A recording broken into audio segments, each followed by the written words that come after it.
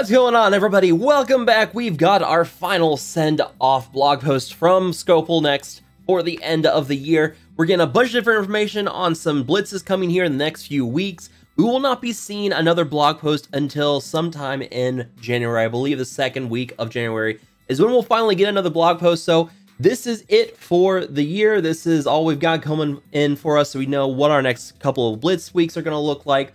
We've also got an update on an event here with Red Guardian, and we're also going to be seeing blitzes here for Yelena here very soon as well. So it starts off from the top. Greeting Commanders, it has been a long year, but 2021 is nearly upon us.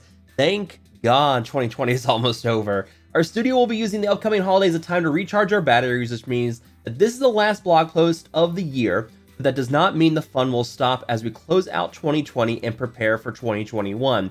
We've got a Russian Winter celebration heading your way, shiny milestones to hit, and more events than you can fit underneath a Douglas fir tree. Bundle up, comrades, and let's kick things off with one of Strike's upcoming new members. So what we've got here is a new upcoming event for Red Guardian. It's called the Red Winter event. And with this, we will be able to get Red Guardian character shards through these deep freeze orbs. There's also Red Alert milestones. Basically, this is how we're going to get Red Guardian here at the beginning, so at least one of the characters will not be Blitz, which is nice to see. The Deep Freeze orbs will be uh, will be awarded to you via the event milestones, and you can open them to earn gold, gear, and shards with the limited time season trait with Red Guardian at a higher drop rate. There's also the Red Alert milestone where enemies you can fight enemies in Blitz and Arena with the season character trait on there. You can score points by winning in Blitz and compete in Arena, win or lose, just like any other milestone event. And you will earn your Red Guardian character shards, you'll earn the Deep Freeze, Orb Fragments, and more. Hopefully, we're going to see some uh, Tier 15 uniques in there, maybe. We'll see. Then the Crimson Affair milestone, where you team up with your alliance in raids using seasoned characters to earn rewards, such as the Deep Freeze Orb Fragments, Gear Pieces, and L3 training modules and then the Red Winter milestone where you score points by opening Deep Freeze orbs to earn more Red Guardian character shards and other rewards. Again, hopefully we see some tier 15 uniques in here somewhere. Now moving on, we have Mojo's Winter Special Blitz scoring, and they mentioned in last week's blog that the Winter Special event is coming and will include Blitz scoring milestones as one way to earn rewards. One of the things you'll notice is that the event goes live is that players will earn more points per battle by blitzing manually compared to using the new Blitz Sim feature. Right now, with the World Warrior milestones, you're getting 9 points per Blitz Sim versus a manual battle on Blitz, which gives you 10. So it's probably going to be that same kind of point differential, which means that honestly, it's not going to be a huge difference. It's going to add up if you do a lot of Blitz battling. But for the most part, I'm going to be okay with doing the Blitz Sim because it's going to take a whole lot less time. I'm not spending an hour or two on rotation.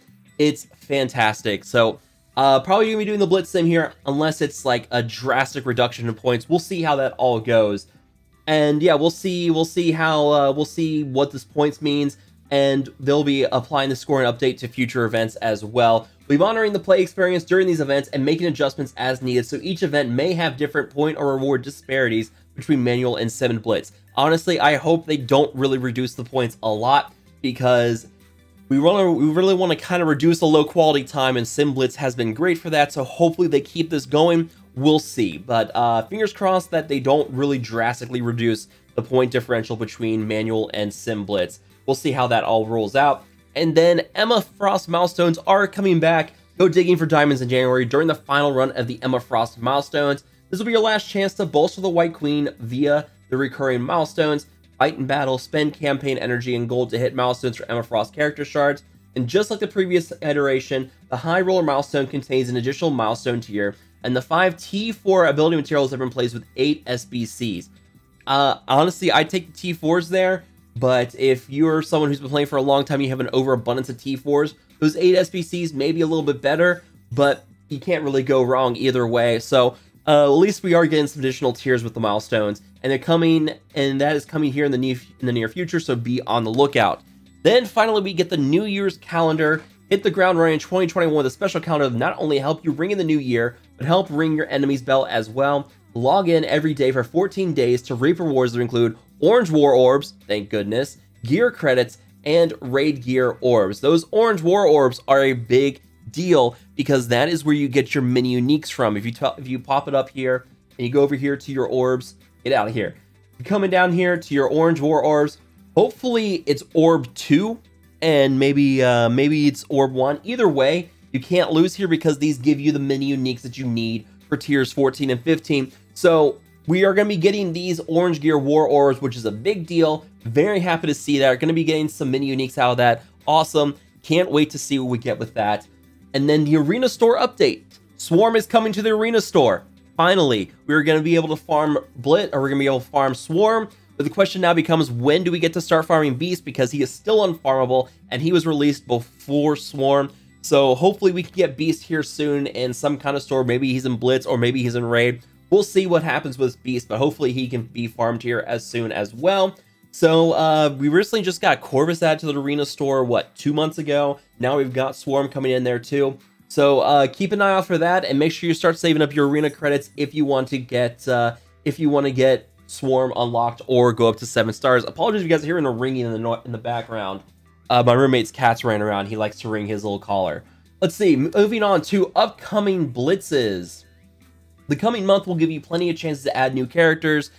So here we go. We have three weeks of blitzes listed here. So the upcoming week, which is starting on Monday, we will be getting our first blitz will be Cable, and then on Thursday you will be ending up getting the probability probability master blitz, which will give you Longshot, one of the first X Factor characters. If you guys haven't seen it yet, X Factor is stupidly powerful. Very strong characters there. Just two of them. We'll see if X Factor becomes the next meta team. But right now, with just those two characters, it's looking very good for X Factor. So keep an eye out for the Longshot blitz there. You are really going to want to start investing in that.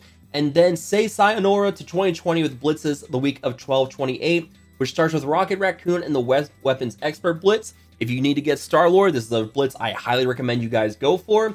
And then it ends with the second run of Longshot's Probability Master Blitz. So back-to-back blitzes for Long Shot.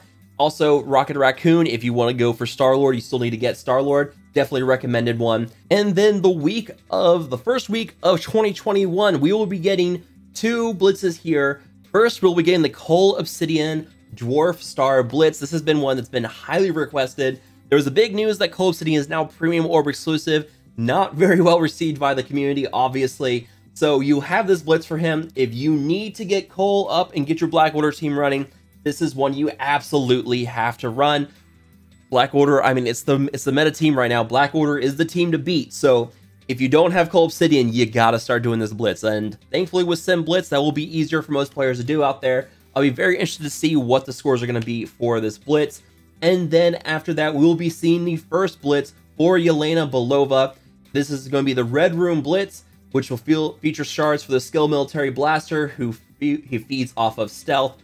Yelena is going to be the second character here, along with Red Guardian, that will help fill out the Skilitary team. If you guys haven't seen my video yet talking about the T4s, do check that one out. There's a lot of T4s you have to invest into Skilitary to make it work. It's a big, big time investment. It's pretty scummy on Scopely's part what they're doing with the T4s for this team. Highly recommend you guys check it out. There'll be a link up in the corner for you guys to look at that one too. But yeah, beware if you're going for the Skilitary team, you make sure you need to stock up on T4s first. And yeah, so uh, yeah, Yelena will be, for, be coming here at the uh, end of the first week of January, and then we will likely see her second Blitz the week after, and that'll be the one that features red stars for her as well. Returning legendary events. Drumroll, we are getting the Doc Ock legendary finally returning here very soon. This is one that you're definitely going to want to have. Doc Ock is a great war character, very good for war defense and war offense, a solid counter to Black Order and offense, and just one of the best defensive teams now in Alliance War. You will need X-Force to get him, and you need them all at least 5-star. And the big problem with that is that Domino is Blitz Orb exclusive, so hopefully you guys are having good luck with getting her out of the Blitz Orbs. Negasonic is in the Doom War campaign somewhere and X23 is Alliance War Store exclusive as well. Same with Minerva, who just got moved there when Premium, when Cull Obsidian went to the Premium Orbs. It took Minerva out, threw her into the Alliance War Store. So if you're looking for Minerva Orbs, or if you're looking for Minerva Shards now, make sure you check out that Alliance Store. And then we also have Shuri coming as well, which you'll need Spider-Verse characters for. Your symbiotes will be more than enough to get Shuri for sure. But also, if you're working on your Sinister Six to get them geared up to go for Dr. Octopus, you're going to be able to use them as well for Shuri. So you can kind of kill two birds with one stone here. Get your Sinister Six geared up and ready to go for when you get unlocked Dr. Octopus, and you can also use them to unlock Shuri if you have not done that yet. Then finally, we get to some bonus and flash events. Double your character shard rewards and stock up on valuable resources with some upcoming bonus and flash events. There is the Calling All Agents event, which is going to be rewarding double shard, double drops for for your shield characters in the campaign nodes, and then aim characters will also get some double drops as well during the Bad Science event. If you don't have your shield geared up, if you don't have your aim geared up or start up, this will be something you want to take advantage of. And then we'll also be getting the XP throttle event again as well, which is double XP for you're spending your energy in campaigns. Very well received the first couple of times that it came out. Really helped people level up pretty quickly. And then prepare for Shuri and the Princess and the Symbiote event, which is the legendary event to unlock Shuri, where you will get double drops of Spider-Verse shards. And then bolster your Wakandan team with Wakanda Nation before using them in the Chaos Theory, which is what you use for your Elite Store promotion credits or your red stars in that store. And then also we have the hand team coming back with Need a Hand, where you earn your piles of Catalyst in the Relic Hunt event. And then also we're going to be having Payday drop tonight, I believe, or tomorrow, which will give you bonus gold in that event. I believe it actually drops tonight. I gotta check that out. I believe, because I was just looking at it. Yeah, so it drops here in like 30 minutes. So make sure you guys check that out as well get that gold here. Very helpful to get that gold, especially with leveling up right now. Gold's a bit of a bit of a commodity these days in Marvel Strike Force. So make sure you complete that payday event as well. But yeah, guys, that's uh there's a lot in this blog post. The one thing that's not here is orb opening events. And it looks like we are still not getting anything. Uh, so, I mean, at this point, if you want to hoard your orbs, by all means, go ahead. But I think uh, I think that it may still be a while before we get an orb opening event, if we get one at all. So open your orbs at your own risk, but if you are getting impatient, you want to go ahead and open them now, I don't see any problem with that. So yeah, lots of stuff in here. Red Guardian coming here soon, a special event. Yelena coming with a blitz. Longshot's coming with her blitz, uh, with his blitz as well. Shatterstar will be in the campaign event, which also drops tonight. So make sure you guys keep an eye out for those events and get those characters geared up and started up in their blitzes and their campaign events, everything. But yeah, we're going to go ahead and wrap it up here. Lots to break down here, and this will be the last one we will see for a few weeks. But yeah, thank you guys so much for watching. If you guys have enjoyed this video, make sure that like button, share, and subscribe, and I will see you guys next time.